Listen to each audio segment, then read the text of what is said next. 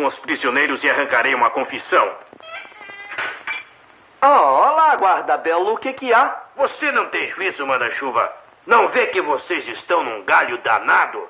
Não, você é que está num galho, guarda. E quando eu disser à Interpol e à imprensa que consegui descobrir um golpe para derramar dinheiro falso no Havaí, e quando eu contar como fui impedido pelo próprio oficial encarregado de capturar